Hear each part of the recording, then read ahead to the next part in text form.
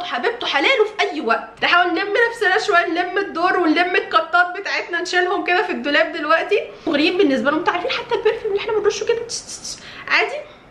بيضرب في نافوخهم تفضلي ماشية بالقطايه والشورتاية. أنا عارفة إنه الجو حر قوي فرهضه بصراحة. ما نحاولش إحنا يعني زي ما تقول كده نستفزهم بحاجات ممكن تؤدي إن هو يفطر.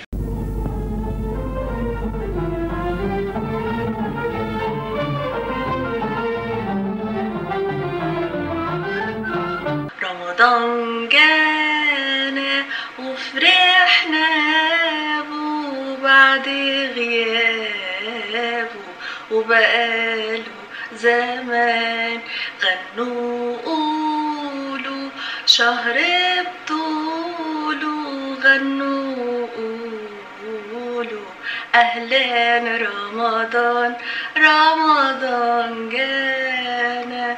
أهلا رمضان قولوا معانا. أهلا رمضان رمضان إيه ده؟ إيه اللي بيحصل ده؟ في إيه؟ لا مش كده مش كده. في رمضان. في رمضان؟ في رمضان؟ لازم نتفق مع بعض على حاجة مهمة وهي إنه مش معنى إنه ما بيحصلش معاكي إنه مش موجود. بيكم وعودة إليكم من جديد. النهارده هنتكلم في موضوع ما يخصش غير السيدات المتزوجات فقط لا غير. ليه بقى؟ لأن إحنا هنتكلم في موضوع مهم جدا وحرج جدا ومحرج جدا منتهى الإحراج بصراحة. بس لازم إن إحنا نتكلم فيه لأنه مش معنى إن أنت مثلا مش بيواجهك مشكلة مع الموضوع ده أو مش بيحصل معاكي من الآخر. معنى كده إن هو مش موجود. لأ موجود عادي وبيحصل. فكان لازم إن إحنا نفتح الموضوع ده ونتكلم فيه. لا تجوز العلاقة الزوجية في ساعات الصوم.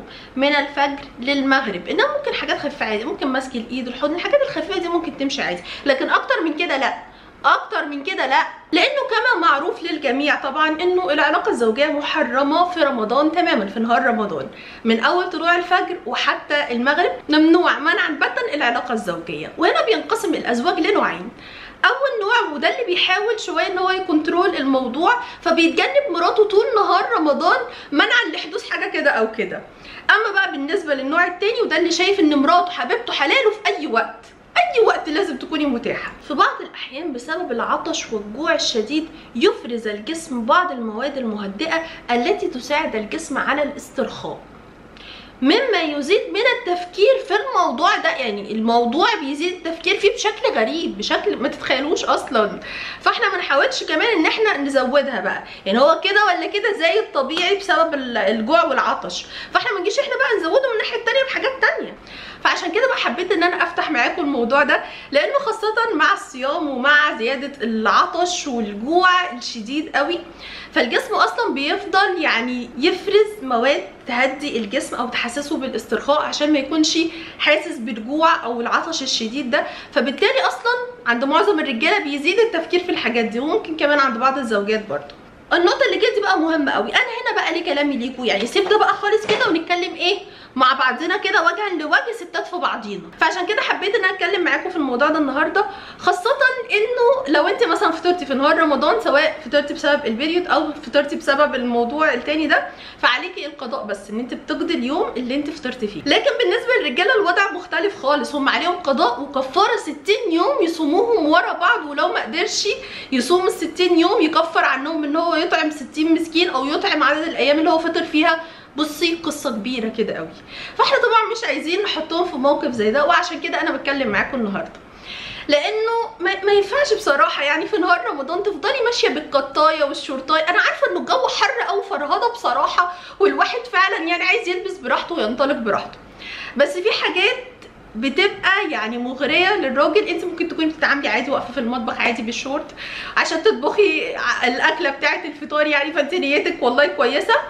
بس هو بيبقى شايفك بقى من جهة تانية خالص أو مثلا بكلام معين أو بنظرة معينة. خدوا بالكم يعني الرجالة دي يعني مفيش أسهل منها خالص بيتجابوا بكلمة خدوا بالكم. فأنت ممكن بنظرة معينة أو بكلام في حاجات معينة تخليه هو غصب عنه حتى من غير ما العلاقة تتم كاملة تخليه هو يفطر. بدون التوضيح يعني بتفاصيل الموضوع ده هو هيفطر. فيبقى عليه قضاء وكفارة وليلة كبيرة حضرتك. فنحاول إن إحنا نبقى قدر المستطاع ملتزمين قدامهم خاصة كمان في وقت ال period، ليه بقى؟ نقف وقفة هنا بقى، لأنه في وقت ال period تحديدا بصي أنا معاكي قلبا وقالبا، إحنا كده ولا كده فاطرين، فكده ولا كده هنقضي الأيام دي، فمن حقك بقى تاكلي وتشربي وتعملي كل الحاجات اللي أنت عايزاها. بس يعني بلاش نأفور في الموضوع ده شوية. يعني أصل ما أنا فاطرة بقى أهو أنا فاطرة بقى فأفطره هو كمان معايا أو اتعامل على طبيعتي قوي. في عين الراجل غلبان بقى ما يكونش عارف يروح فين ما انت مراته بقى وقدامه في وشه طول النهار. فأحط بقى make up وأحط برفانات رايحة جاية عمالة أحط جو حر بقى عمالة أحط وألبس براحتي وأتكلم براحتي. ما أنا فاطرة بقى ما أنا فاطرة لا ما ينفعش بقى الكلام ده في نهار رمضان عشان بجد في رجالة فعلا ما بتعرفش تسيطر قوي على نفسها. فممكن تلاقيه إن هو فطر غصب عنه أو إن أنت يعني اللي هو بقى جماعة في رمضان في رمضان مش هينفع الكلام ده في رمضان. نخليه بعد الفطار. وهنا برضو الموضوع ياخدنا لنقطة مهمة قوي وعليه فإن أنسب وقت للعلاقه الزوجية في رمضان يكون وهنا الكلام بياخدنا تلقائي لنقطة مهمة قوي وهي إمتى أنسب وقت العلاقة الزوجية في رمضان. مبدئيا إحنا متفقين حرام منعا باتا شاملا قولا واحدا العلاقة الزوجية في نهار رمضان من أول طلوع الفجر لحد المغرب. طيب إمتى بقى؟ بعد الفطار. حلو. إمتى بقى التوقيت برضو اللي بعد الفطار؟ إمتى برضو؟ ما الواحد لما بياكل حتى لو فطار بسيط برضو إحنا يعني قاعدين طول النهار من غير أكل ومن غير شرب وكده فالواحد بيحس ان أقل حاجة حتى معدته اتملت.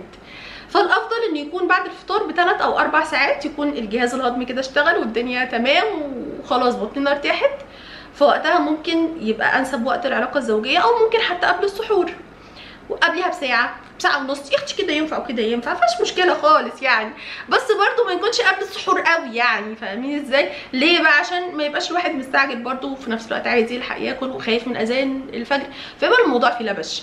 زي ما بقول لكم إحنا عايزين يتم زي موضوع كده إيه إشباع شوية أو إرضاء شوية عشان يعني يسيبوا الزوجات في حالهم خاصة الناس اللي ما بتعرفش بجد إن هي تعمل كنترول على الموضوع ده. ودي طبيعة بشرية يعني دي حاجة فيه. في ناس عندها القدرة تماما إنه مثلا مع إن هو يقرب من مراته وإن هو يلمسها وإن كل حاجة يفضل صامت على موقفه ويفضل تمام وفي رجالة تانية لأ. بيبقى الموضوع صعب. فعشان كده بلاش برضو إيه يعني زي ما بقول لكم الكلام النظرات إن هو يبقى مقرب منك قوي أو أنت مقربة منه قوي أو في أي حركات لأن كل دي يعتبر مقدمات أصلا للعلاقة. فلو حصلت في, في نهار رمضان وارد جدا إن هو يفطر.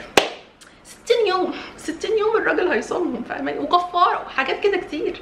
إحنا ما عندناش غير القضاء في الموضوع أسهل بالنسبة لنا شوية.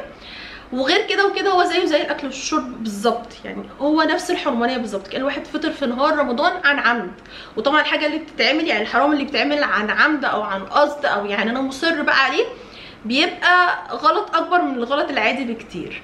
فنحاول كده معلش ستاتي يا زوجاتي يا عزيزاتي حبيباتي نحاول نلم نفسنا شوية نلم الدور ونلم القطات بتاعتنا نشيلهم كده في الدولاب دلوقتي. لحد أنا عارفة الجو حر بجد والله الجو فرهده بجد على الآخر على الآخر واحد يعني مش طايق نفسه. بس نحاول يعني مراعاة لمشاعرهم يا عيني يا حرام في, في نهار رمضان وفي الصيام وكده مش عايزين إن إحنا نبقى عليهم إحنا والدنيا عليهم. مش عايزين يعني نضغط عليهم قوي عايزين كده الشهر الكريم يعدي علينا في سلام ونطلع منه وإحنا مطهرين نفسنا سواء من الذنوب أو مطهرين الجسم من كل السموم اللي ممكن تكون فيه. الصيام ده ليه فوائد كتير جدا. فالواحد عشان يصوم يصوم صح بقى. يعني لما نصوم نصوم عن كل حاجة. ما نحاولش إن إحنا يعني يا جماعة بقى نحس أصل بصوا أنا أقول لكم على حاجة. هو كان لسه أصلا في خطبة الجمعة اللي فاتت تقريبا هنا في الجامع. كان واحد بيسأل إن هو وقع في الموضوع ده في نهار رمضان. فالشيخ بقى يا عيني قعد بقى يقول ال- الحكم كده قدام الناس كلها و... يعني الموضوع ده بيحصل. حتى لو مش بيحصل معاكي حتى لو أنت شايفة إنه لأ ما بيحصلش حصل على أيام الرسول صلى الله عليه وسلم.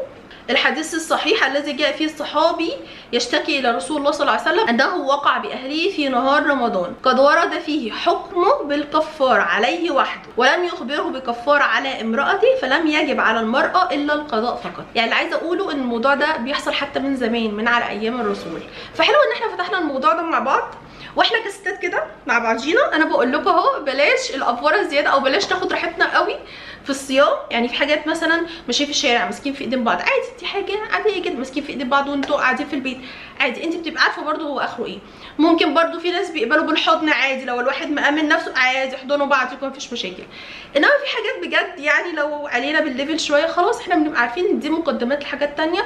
فبلاش الحاجات دي تتم في نهار رمضان. عشان نبقى دايما في التمام كده وفي السليم. بلاش كل المواضيع دي تتم في نهار رمضان. إيه ده كل ده؟ إيه ده؟ مش عارفة ده من الحر مثلا ولا من الإحراج ولا إيه؟ المهم يعني كل سنة وأنتم طيبين وأنا حبيت كمان أوجه كلامي خاصة للعرايس اللي لسه مش عارفين الدنيا ماشية إزاي. يعني ممكن الواحدة بعد الجواز بشوية بتبقى فاهمة فبلاش القطات يا جماعة بلاش القطات وبلاش الشورتات بلاش. على قد ما نقدر نحاول إن إحنا ما نكونش مغريين بالنسبة لهم. أنتوا عارفين حتى البرفيوم اللي إحنا بنرشه كده. عادي؟ بيضرب في نافوخهم الروائح دي بتضرب في نافوخهم يعني الراجل هيهرب منك فين؟